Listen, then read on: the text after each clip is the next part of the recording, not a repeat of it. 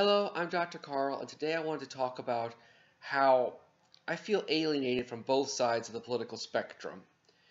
I've been right-leaning my entire life, and I still mainly am, and the left is as insane now as they've ever been, and so obviously I don't see anything, not a whole lot positive coming from that side. But at the same time, while some people who have been left-leaning their whole lives are saying conservatives are the only ones showing any sanity nowadays, it's heartbreaking to me to see that there are aspects appearing on the political right that I don't like. I should mention there are two broad causes that I've had my whole life that cut across the traditional right-left divide. One is my staunch support for the Euro-Atlantic community and its institutions, namely NATO, the European Union, the Euro, the Schengen Open Borders Agreement. And the other one is my support of the men's rights movement. Again, it started out more as a desire for equality in general, but feminism was so one-sided and so vicious and nasty that equality for men is something that needs to be emphasized, and I've made a long list and made a video about this of all the ways in which men face discrimination.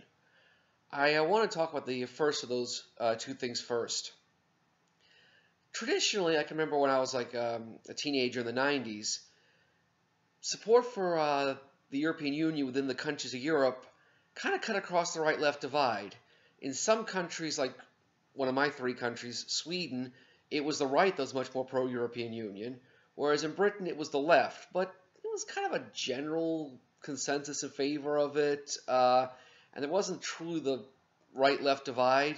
And even now, certainly back then, far left parties um, in countries like France or Sweden were just as opposed to it as some of the nationalist parties on the right were.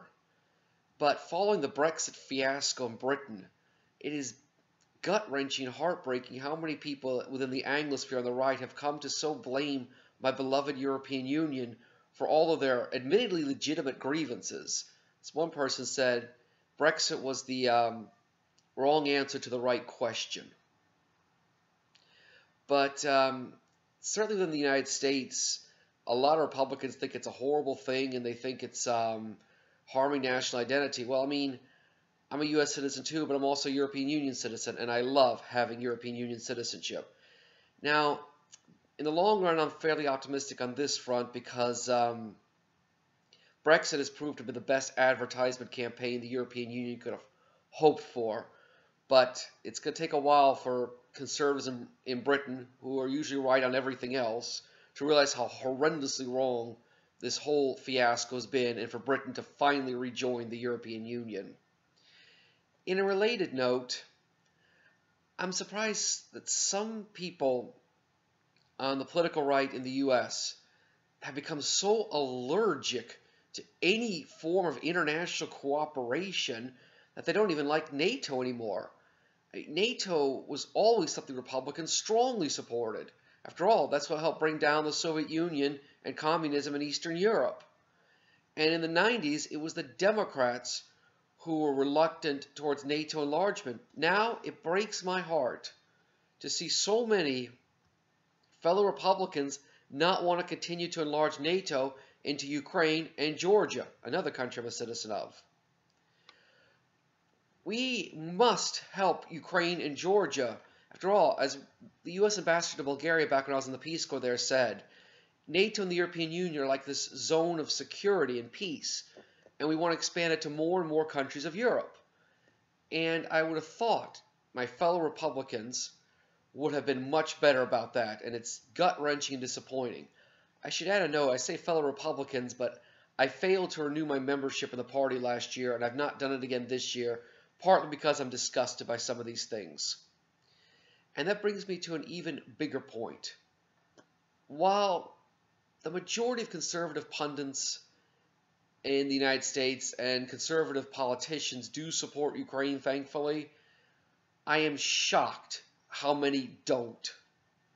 I mean, come on. You're supporting Russia in its brutal invasion of a sovereign, independent country like Ukraine, totally unprovoked? as one person said, I mean, I get it. Many of you are at the point where if CNN says X, then the answer is Y. I get it, but okay, every now and then there's the broken clock, you know. I mean, if CNN supports Ukraine, hey, CNN got something right for once. So, I mean, don't be so blind that you just reflexively go the other way like that. And I also want to discuss uh, conservatives and the men's rights movement. Now, again, this cuts across the right-left divide, as there are a lot of feminists who've been extremely vicious towards those of us in the men's rights movement. Indeed, conservatives have been far more tolerant towards us, because conservatives are much more tolerant towards those with whom they disagree with in general. But one thing that has come up recently that really just sort of irks me, again, unlike failing to support NATO or the European Union, this is not a new thing, but still it's upsetting. I have always despised sexist service registration in the United States. For those of you not from the U.S., upon turning 18, all young men are required to register with the military for a potential draft. Women are not. Now, no one has been persecuted, I mean prosecuted, under this law since I believe 1989. Instead, there's backdoor enforcement, like in many states you can't get a driver's license. If I'm not mistaken, there's seven states where you can't even enroll enroll in a uh, state uh, college. See, these people are too gutless to enforce their disgusting law, so what they do is they uh, make life difficult if you fail to register with this nonsense. All I have ever wanted all these years is to see this horrible law repealed. There's now talk of expanding it to include women, and a group I'm a member of, proud to be a member of the National Coalition for Men, has been campaigning to either expand it to include women or, most of us would say, better yet, just end it. And now you got people on the right saying, don't draft our daughters. Well, what about your sons? You don't care about your sons? That's a huge sexist double standard. I got a much better idea. Don't draft anyone ever. How's that? Um, so basically, for these things I feel very passionate about. My love of the European Union, my love of NATO, and my uh, desire to see genuine gender equality, especially ending sexist service registration. Put these things together, I, I don't really feel comfortable with the political right anymore. And again, I think at this very moment in time, the ultimate one would be those who uh, support Russia's invasion of Ukraine, which again, thankfully, is not the majority, but still, it's a lot more than it should be. So for these reasons, I don't feel entirely comfortable with the right anymore, but of course the left has gone completely crazy, and I'm as against that as I've ever been. So I'm screaming out, can we finally have some common sense uh, political parties emerging? I'm Dr. Carl. Enjoy.